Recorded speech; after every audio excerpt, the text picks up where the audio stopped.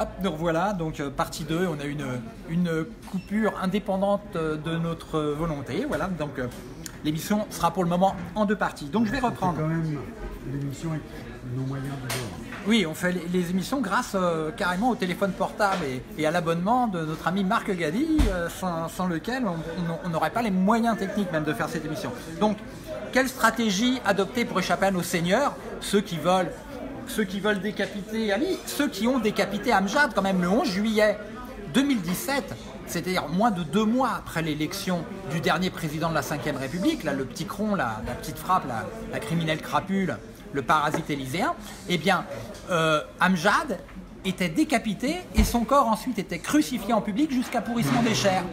Voilà, par, ses- par euh, son ami euh, et la justice de son ami euh, Mohamed Salman al-Saoud.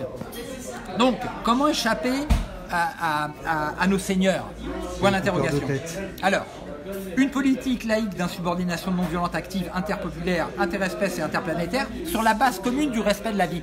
La base commune du respect de la vie, ça veut dire que tout travail qui travaille à détruire la vie n'est pas un travail. Moi, si je travaille dans une usine de pesticides à fabriquer du glyphosate qui nous est réimposé et où on est en train de nous expliquer que de toute manière, du glyphosate, on va encore en bouffer pendant pas mal d'années parce que les investissements dans l'agrochimie, il faut qu'ils amortissent. hein. Et donc, mange ton poison, finis ton assiette. Et bien ça, c'est totalement inacceptable parce que on avoue le crime. hein. on dit nous, on vous assassine, mais tu peux rien faire tu fermes ta gueule. Hein et puis, il y a quoi? Il y a des blaireaux qui vont aller voter le 26 mai euh, 2019 pour une Union européenne qui nous impose le glyphosate? Moi, je dis non. Donc, laissez naître localement les bases de monde post-industriel. Laissez naître localement les bases de monde post-industriel. Laissez naître. Et eux, ils tuent. Eux, ils tuent. Ce qui s'est passé à Notre-Dame-des-Landes, ça a été annoncé par Jacques Attali, qui pour moi est, le plus grand antisémite de France et de Navarre, où il a expliqué qu'on allait euh, casser la gueule à tous ces gens qui voulaient faire naître un monde euh, de, solidarité et un monde post-industriel. Et donc non, le monde militaro-industriel ne se laissera pas faire et tuera et mutilera tous les gens qui s'opposeront euh, à, à ces exactions. Ces criminels le disent carrément. C'est-à-dire que depuis toujours. Exactement. Et ils ont la Constitution avec eux. Donc voilà. Donc euh, tenez-vous le pour dit. euh, euh, S'ils vous mutilent, c'est qu'ils ont bien raison et que c'est bien fait pour votre gueule. Donc, laissez naître localement les bases de monde post-industriel où priorité collective gracieuse de toutes les découvertes scientifiques, techniques, intellectuelles et artistiques, propriété d'usage et autogestion collective mutualisée de tous les outils et les lieux de travail, propriété individuelle du- de l'usage du lieu de résidence et de ses dépendances vivrières, soit des principes constitutifs, voire constitutionnels.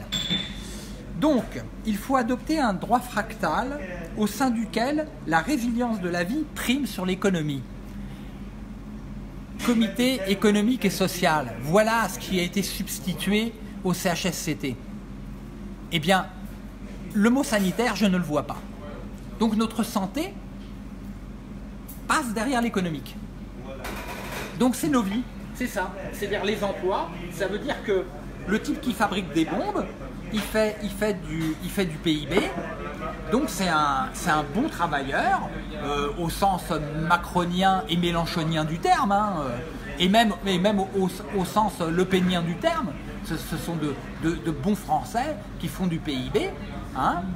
Et donc ces- ces gens-là, on ne va- on n'a pas à leur dire ce que vous faites est nuisible, détestable, abominable, et on n'a pas à travailler. Moi, je peux traverser la rue et m'engager dans la police et m'inscrire au syndicat Alliance. Je peux traverser la rue et m'engager dans, l'armée.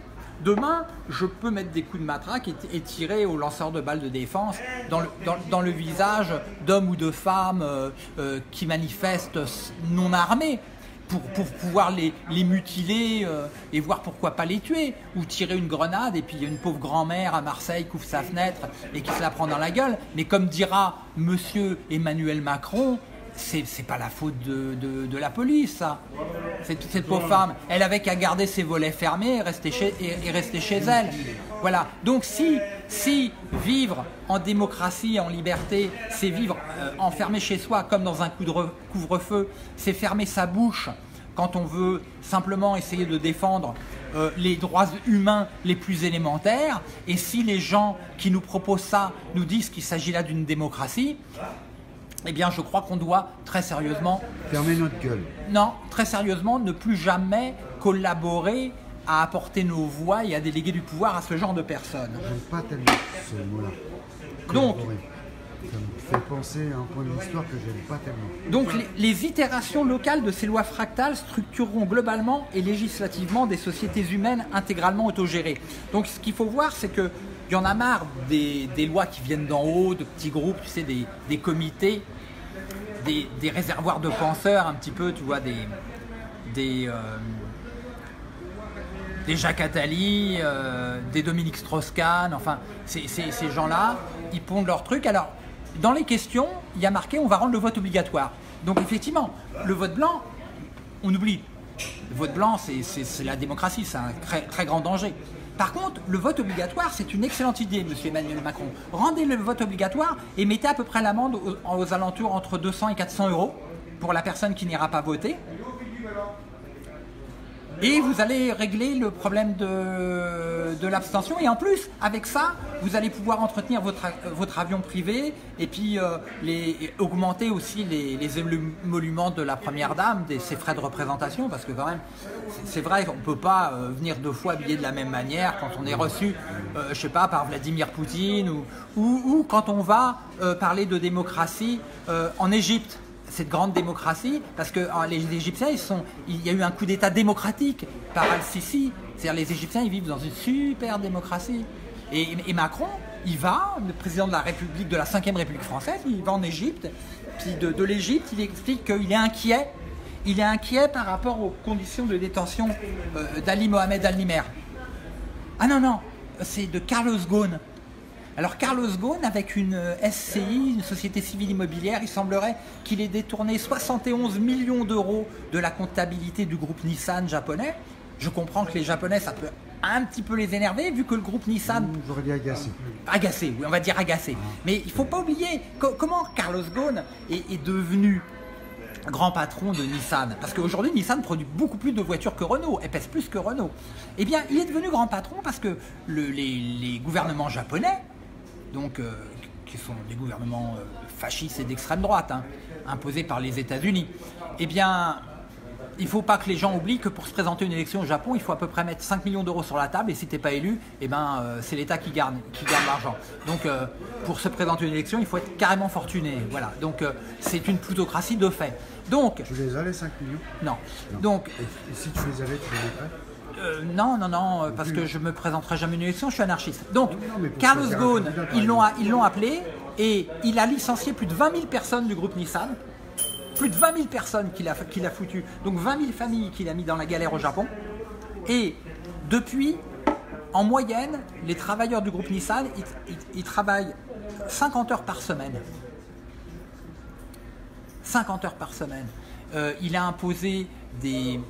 Comme à Renault. À Renault, le nombre On de... est loin de la journée de Non, 8 non, mais heures. à, à- à Renault, il y, a il y a eu des suicides d'ingénieurs. il y a eu- Et puis il y a eu cette histoire, parce que le Carlos Ghosn, il a quand même viré euh, trois, trois- trois personnes de sa direction sous des accusations mensongères d'espionnage industriel. Et ce qui est étonnant, c'est que ce type, euh, bon, il a, fait payer par le groupe Renault des millions d'euros de dommages et intérêts aux personnes qu'il avait accusées à tort, mais lui-même, ça n'a strictement rien changé euh, à sa formidable carrière. Donc, quand on voit qu'un président de la République française s'inquiète des conditions de détention d'un salopard, d'un- d'un- d'un- d'une immonde crapule comme Carlos Ghosn, eh bien, voilà, on comprend mieux euh, euh, qu'il considère comme un ami euh, Mohamed Salman Al Saoud. Donc ces gens-là sont de dangereux bandits, ils sont des mafieux. J'ai une annonce à faire qui nous Oui. vient de Sophie Harport.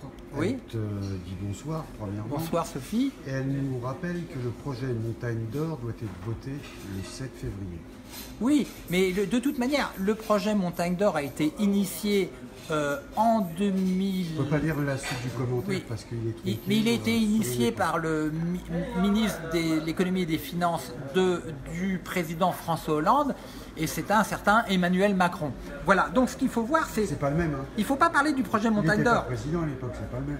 hein. Non, c'est pas le même, non, bien sûr. Donc il faut bien comprendre que ce sont des transnationales et que l'or qui est miné, parce que quand on mine par exemple du fer, on va faire de l'acier, et puis avec l'acier on fait des voitures, des trucs. Bon, moi je suis contre le monde de l'automobile, mais bon, quand on mine de l'or, il n'y a qu'un tout petit pourcentage qui sert à l'industrie. Bêtement, il y a des gens, ils pourraient croire que c'est pour l'électronique, les trucs. C'est faux. Plus de 90% de l'or qui est miné, c'est de l'or pour stocker de la valeur et pour faire des, pour faire des bijoux, des, des bracelets, des lingots.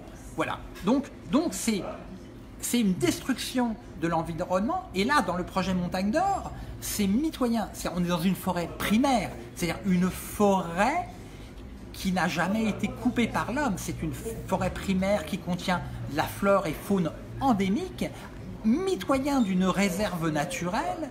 Et là, on va. Alors, il y a le BRGM et des trucs, on fait une étude, on explique que de balancer du cyanure dans l'environnement, bah, même pas mal. Même pas mal. Ça va créer 24 millions de tonnes de boue cyanurée. Dans, une région euh, équatoriale où il pleut tous les jours, et ça veut, dire que les, bassins euh, de laisse décanter euh, ils vont déborder, ils vont déborder, et, en débordant, ben, ils, vont, polluer, euh, ils, vont polluer la nature. Voilà, donc ce qui- ce qu'il faut voir, c'est que ces, projets, et au-delà, les, forages ont commencé au large, euh, de la Guyane, euh, les forages offshore pétroliers du groupe Total eux-mêmes ont commencé. Donc de toute manière, euh, c'est comme cette Union européenne qui se fait appeler l'Europe, cette Union européenne se fera de gré ou de force contre la volonté des autochtones et des allochtones de Guyane.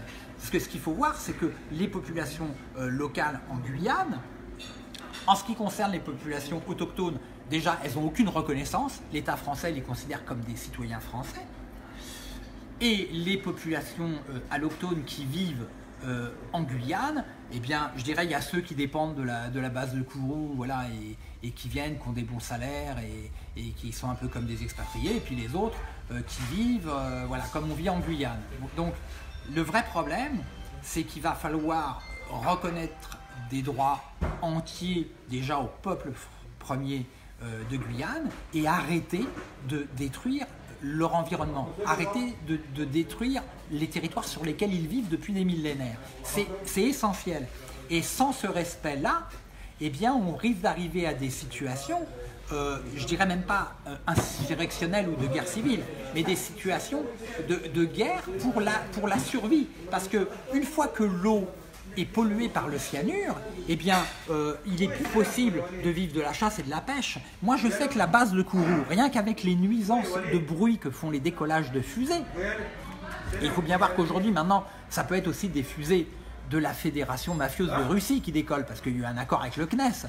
Eh bien, à plus de 300 km autour de la base de Kourou, le gibier s'enfuit. Le gibier s'enfuit.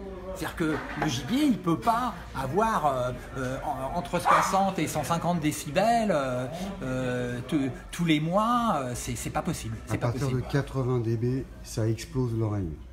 Alors 150, Alors, c'est même pas la peine. les, les Et décollages je peux de comprendre qu'ils aient très peur. Et les décollages de fusées créent d'autres pollutions parce qu'il faut voir que les fusées à, à- à carburant comburant solide, donc des boosters euh, au décollage, qui servent au décollage pour donner un appoint, une force au décollage quand la fusée a tous ses étages, ce sont des éléments extrêmement polluants que ces, réservoirs sont en fil de carbone, euh, résine époxy, euh, qu'ils retombent euh, dans, la, forêt vierge, donc il pollue. Il, il pollue euh, très, durablement, au-delà du danger euh, euh, qu'il qu'il représente. Il représente une pollution. Et il faut savoir aussi que la Guyane française est un des endroits du monde de reproduction de la tortue lutte, qui est une, une des plus grosses tortues marines, et que le forage offshore à 2500 mètres de fond que se prépare à mettre en place le groupe Total est équivalent en dangerosité à celui de Deep Horizon qui a, qui, qui a créé la catastrophe dans le golfe du Mexique avec disparition d'espèces endémiques. Voilà. Donc, on est en train de mettre en place les catastrophes écologiques du futur et on, nous parle de transition écologique. Alors pourquoi est-ce qu'on nous parle de transition écologique? Parce que on ne va pas parler de transition énergétique, vu qu'avec le CEA, il n'y en a pas. Le CEA, continue les investissements dans le nucléaire et, comme je l'ai dit tout à l'heure, conditionne la fermeture du réacteur qui était promis d'être fermé, Fessenheim, en 2012, aux élections de 2012, souvenez-vous. Il y a des gens, ils ont voté pour Hollande parce qu'il y avait les salopards d'Europe Écologie Les Verts qui avaient dit Mais oui, quand Hollande est élu, Fessenheim est fermé.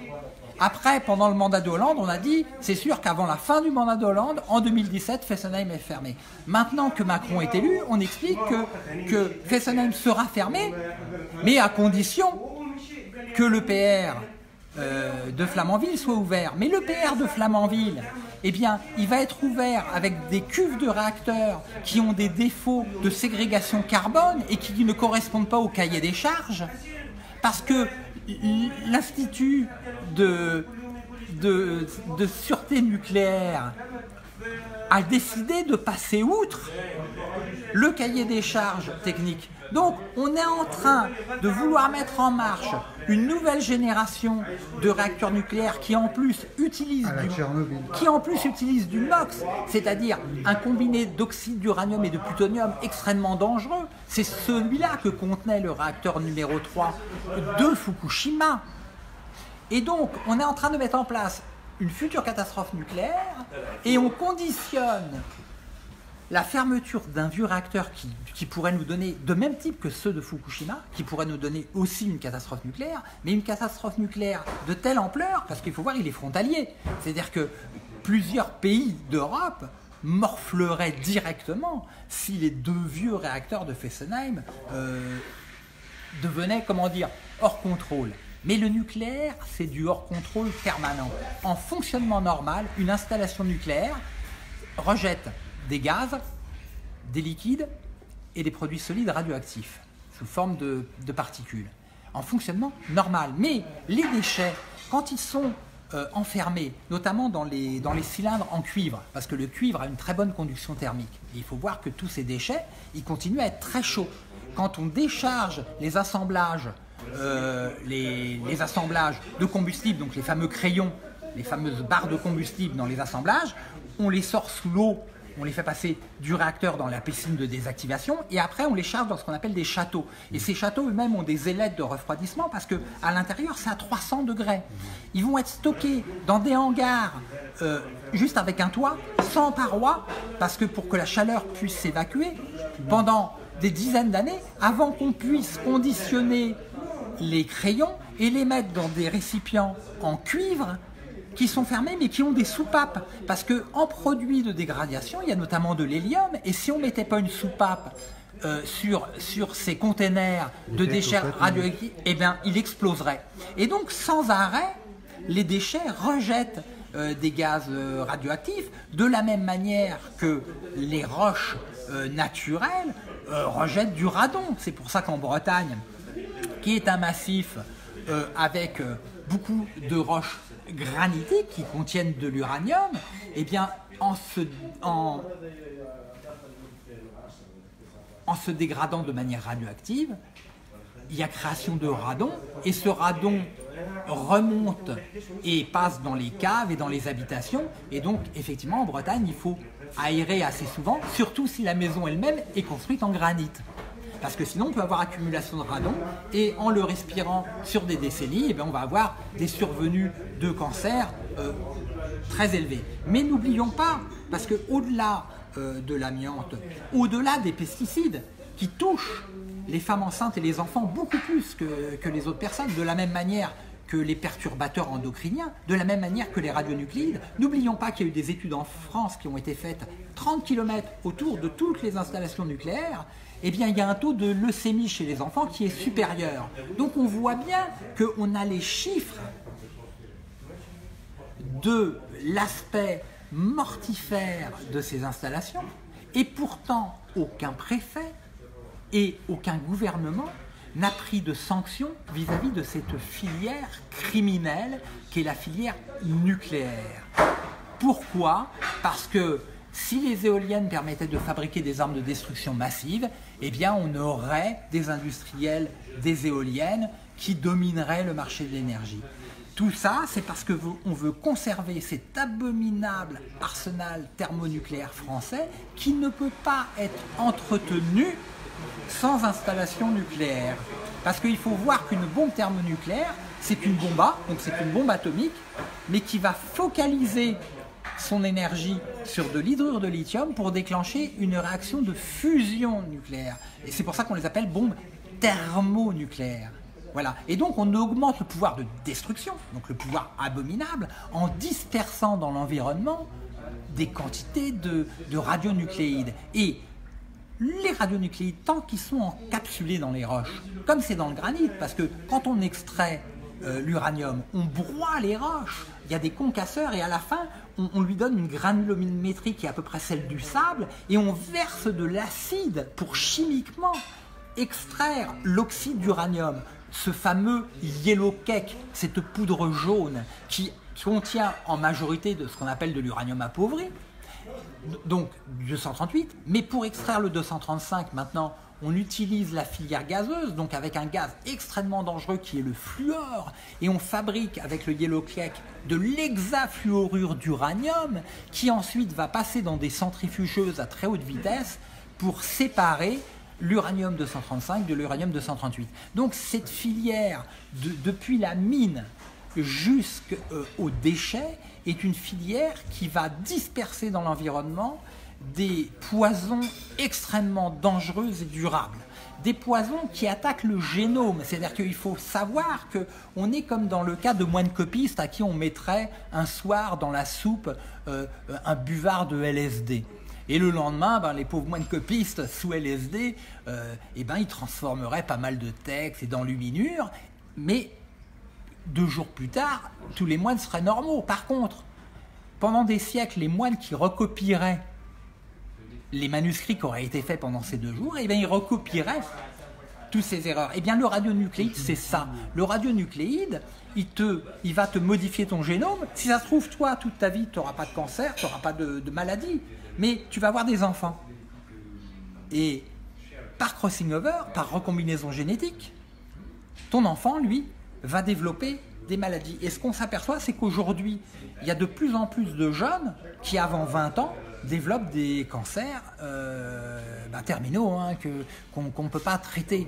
Donc, les pesticides, euh, le nucléaire, l'amiante, parce qu'il faut voir que si la fabrication et la distribution des produits contenant de l'amiante est maintenant interdit en France, il y a des millions de tonnes d'amiante dans énormément de bâtiments, et qu'une fois qu'ils se dégradent, avec le temps, eh bien, il libère des nanoparticules d'amiante. Et ces nanoparticules, il en faut très peu euh, qui, respirés, vont se loger dans les bronches et peuvent déclencher un mésothéliome qui, s'il n'est pas soigné ou traité ou détecté à temps, eh bien, conduit inéluctablement euh, à une mort prématurée et extrêmement douloureuse.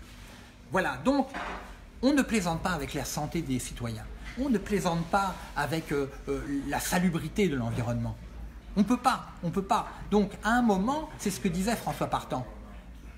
Si pour des raisons même autres qu'économiques, il faut arrêter le nucléaire, eh bien c'est qu'il le faut. Nous devons, de manière vitale, arrêter la filière nucléaire. Nous devons investir dans le désamiantage. Parce qu'il en va de la santé, euh, non seulement présente, mais future, de tous les, les, les résidents. Parce que moi, je suis pour l'abandon des États-nations je suis français, j'y suis né, mes parents étaient français, ben voilà, c'est comme ça. Mais moi, quand un type fuit, euh, par exemple, j'imagine un Yéménite, il a fait, il bombardé sa maison, sa, femme, ses enfants ont été tués, ses grands-parents, il arrive ici, il n'a plus rien, euh, que son désespoir comme bagage, qu'est-ce que je vais le foutre dehors? La majorité des réfugiés qui viennent ici, on est responsable du fait qu'ils fuient leur pays.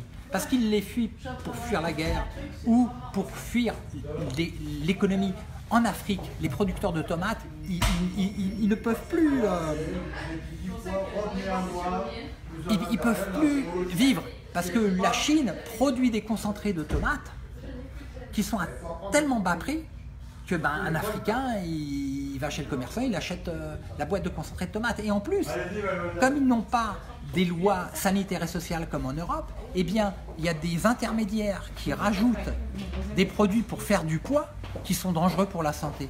Donc, non seulement l'Africain s'empoisonne avec des concentrés de tomates, mais en plus, les productions vivrières locales disparaissent. Et c'est pour ça que je parlais de loi fractale. Par exemple, on peut dire, il faut arrêter de transporter les bananes par bateau, il faut, il faut arrêter de manger des, ananas. Si tu veux manger ananas, tu vas au Costa Rica, hein, tu vas y passer un mois, et puis là, tu vas manger des très bons ananas, tu vois. Il n'y a pas de problème.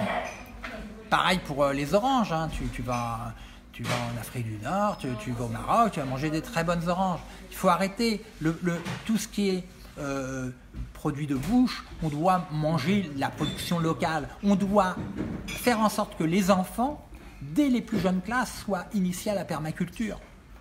Aujourd'hui, on a des enfants qui sont capables de reconnaître des milliers de logotypes. Et ils savent même plus. euh, tu leur montes un oiseau, ils savent pas si c'est un merle, si c'est une pie, euh, euh, si c'est une mésange, euh, si c'est un rouge-gorge. C'est un, oiseau, c'est un oiseau. Tu leur montes un arbre, c'est un arbre. Euh, Roger, il nous reste combien de temps? ouais, il nous reste que quelques minutes, mais Je peux faire une annonce bien sûr. On va plus leur montrer aux enfants maintenant, il y en a plus. Mais oui, bah oui, bah Oiseau, oui. il y en a plus. Euh, J'ai appris il y a quelques mois, en fait je me présente donc euh, Marc, Euh, je suis souvent derrière la caméra justement pour le, le côté technique, mais de temps en temps j'interviens. Et là j'ai un message de tristesse à partager avec vous.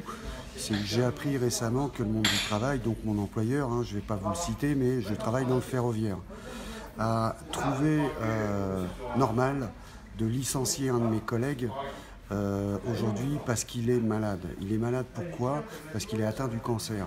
Il est entré récemment en chimiothérapie et on a rompu son contrat. Pourquoi Parce qu'il est absent pendant trois mois d'une maladie grave. Euh, il s'appelle Wassim. Wassim. Donc Voilà. Wassim, euh, malade d'un cancer, va être licencié. Il est déjà licencié. Il est déjà Il est en chimio et il est déjà licencié. Est-ce qu'il y a une pétition Son contrat a été rompu. Est-ce qu'il y a une pétition Euh, on, peut, on peut en monter une. Eh bien, on va, on va en monter une parce que Ça c'est- réellement euh, scanda- scandaleux. C'est un fait. Alors, effectivement, on le voit bien. Avant, avant de, de rendre l'antenne, bah, moi, je pense euh, à, à Virginie. J'espère d'ailleurs qu'un jour, soit elle viendra là, soit on ira chez elle pour faire une émission spéciale sur l'amiante parce qu'actuellement, il se passe énormément de choses. Avec euh, le plus grand des plaisirs. Voilà, il se passe énormément de choses. Je pense à Annie Bomoni, Mhm. je pense à, à Philippe Billard, tous les gens qui, se battent depuis des décennies euh, contre les travailleurs qui sont exposés à, à des risques vitaux. C'est-à-dire, c'est même, c'est même pas, on ne peut même pas parler de conditions de travail. C'est, des, c'est des conditions de, de survie. Juste pour la petite histoire, il a 32 ans, il vient juste de se marier. Voilà. Voilà, donc euh, le collègue licencié à 32 ans, il vient juste de se marier. Voilà. Atteint d'un cancer en chimiothérapie. Il est atteint d'un cancer. licencié par le fer, le chemin de fer.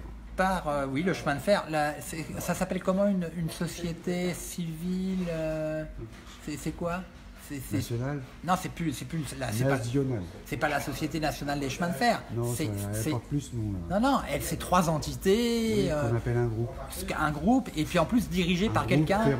Voilà, quel- dirigé par quelqu'un qui développe le transport routier à travers Keolis, tu vois. C'est, c'est ignoble. Bon, eh bien, personnellement, je, je, je trouve que c'est. Il n'y a pas de conclusion autre que celle-là. On va, ouvrir une pétition. Il va falloir bien sûr avoir l'accord de, de l'intéressé. On va rapidement ouvrir une pétition parce que c'est symptomatique de ce qui est en train de se passer actuellement. C'est-à-dire que les gouvernants euh, prétendent qu'ils ont la préoccupation de notre santé et de nos vies, mais actuellement, eh bien, on vaut moins que rien. C'est-à-dire qu'on est passé descendant de François Hollande euh, carrément au- à, à la criminalisation T'as bien descendant, hein, pas les Oui. descendants. oui, à la criminalisation euh, des travailleurs. Voilà. Et donc c'est, je vous dis, à la semaine prochaine. Euh, Bruno, Ah, Tu nous dis à la semaine prochaine? Bon, demain, ça va être un grand jour parce qu'il faut le dire. Ça va être le jour euh, de l'ami Roger Pierre Nimot, psychanalyste à la place de la République. Ça va être son jour et ça va être sa fête. Même Mélenchon a promis qu'il allait participer à, à quelque chose. Paco Ibáñez a promis qu'il allait jouer de la guitare à, Barcelone. Euh, pour euh, Roger Nimot. L'ami Bruno du bar de Jazet a promis qu'il allait euh, faire des miracles à la place de la République. On ne sait pas quoi, mais on verra. Et Les tasses qui volent. Il y a un sculpteur dont j'ai oublié le nom, il a promis qu'il allait ériger, qu'il allait sculpter une statue pour euh, Roger Nimot. en fait. Ça va être sa fête demain. Euh, je crains que Paris, ça va être. euh, les gilets jaunes vont devoir s'abstenir parce qu'il ne va pas y avoir de place pour eux. Ah bah oui, bah. Il ne va pas y avoir de place pour eux. Et même Mélenchon a dit qu'il allait soutenir Roger Nimot. Mais il, il- il- Son il- meilleur ami. euh, son meilleur ami, bien sûr, avec quand même euh, Éric Coquerel et, et- et François Ruffin. Voilà. Eh ben, à la semaine prochaine. Non, mais parlons pas de ces deux-là. non, parlons pas de ces deux-là. Euh, eux font ce que Mélenchon dise. Donc ils se, ils se- ils- ils se tiendront tranquilles. Ils ne diront pas la République c'est moi. hein. Euh, non, non, non, non. Demain, ça sera la République Roger Nimot. Alors rendez-vous avec Roger Nimot et le docteur Marc Caddy aussi. Oui, c'est pour ça qu'on nous appelle souvent Voilà. Roger Marc ou. Non. Roger Gadi ou Marc Nimot, on sait pas. Voilà, voilà, voilà. Roger Gadi ou Marc Mimon, enfin. euh, choisissez, choisissez. hein. Mais en tout cas, c'est pas Roger Le Pen ou Marc, euh, ou Marc Mélenchon. Non, ça fera pas. Roger, Oui prendrez la part. Allez, on coupe.